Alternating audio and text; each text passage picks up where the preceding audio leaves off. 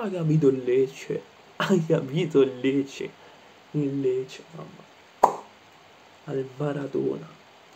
Prima di tutto vi avverto, la feed non dovrebbe partire di questo video, quindi speriamo bene, speriamo bene che lo trovate nelle home e, e vada questo video, ma il Lecce ragazzi, il Lecce il Lecce, l'abbiamo seguito in live, pazzesca, pazzesca prova del Lecce, che è vero che dà il possesso palla al Napoli, ma nei primi 20 minuti il possesso palla è sterile, poi arriva rigore, eh, perché Banda viene atterrato, se non ricordo male, da Estigard, ma ora non ricordo.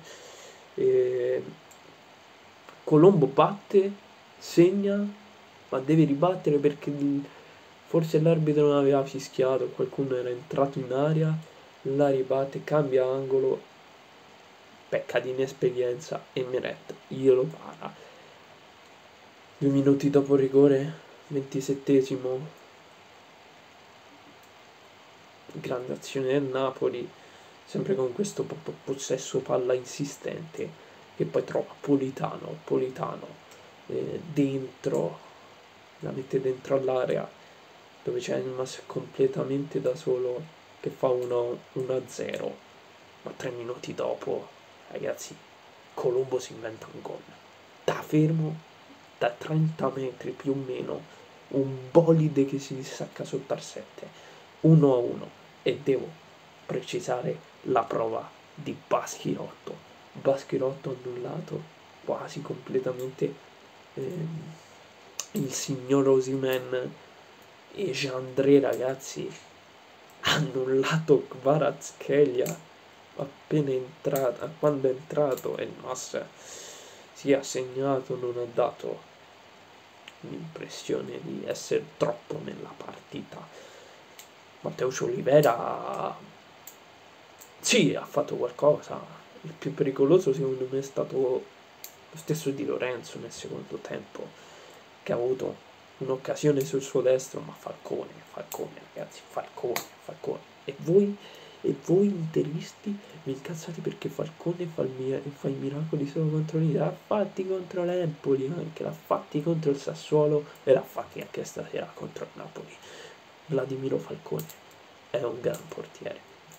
L'ho ripetuto anche in live perché ragazzi va su tutti i palloni va su tutti i palloni in uscita su Simen, pazzesco, in uscita su Simen, pazzesco, fuori dall'aria senza mani.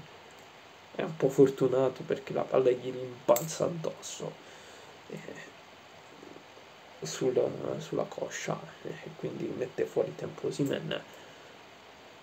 Però tanta roba, c'è André, c'è André, vabbè, sì, la prima di Vezzella non mi è dispiaciuta la prima di Pezzella lì sulla fascia sinistra e Bandà. Quando c'è Bandà in campo ragazzi Lecce è qualcosa di impressionante. Nel primo tempo ha fatto ammattire Di Lorenzo e Politano. Dico questo. E appena esce Bandà per problemi fisici entra Liskowski e per forza di cose il Lecce si abbassa all'indietro, cioè si abbassa a difendere, ma difende con ordine perché la squadra dei Baroni. È, è di per sé già equilibrata all'indietro perché se vedete il possesso palla sterile è dovuto dalla densità in mezzo al campo di Elgason. Nel primo tempo perché Elgason era titolare, Jurmand unico remediano del Lecce, perché era un 4-1-4-1 quello del Lecce. Askilsen, e poi Tuia e Paschirotto. Quei cinque facevano da soli tanta densità nel mezzo.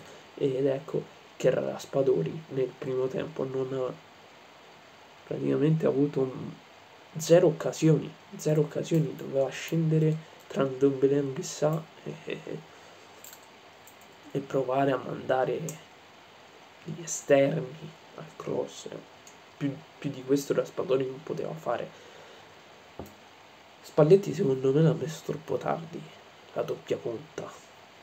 Simeone è entrato, sì, ha fatto quel cross dove Osimen è arrivato e l'ha buttata alta.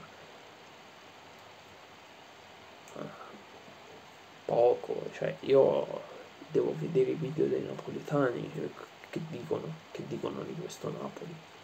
Per me questo Napoli oggi si è giocato ma se non segni meriti il pareggio questo è questo è ho trovato davanti a sé un grande Lecce un grande Lecce che tutti snobbavano compreso me perché comunque la Cremonese ha un'identità di gioco ben, ben definita il Lecce un po' altalenante non sa proprio niente.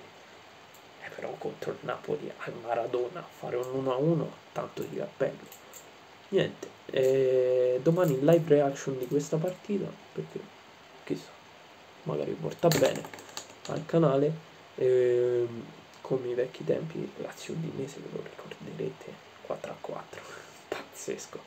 Eh, like commento iscrizione al canale speriamo che questo video vada nella norma. E niente. A domani con la live reaction di questa partita e poi live nella sera di Bologna Salernitana. Pazzesco pazzesco. E ovviamente il post partita di quella partita. Bella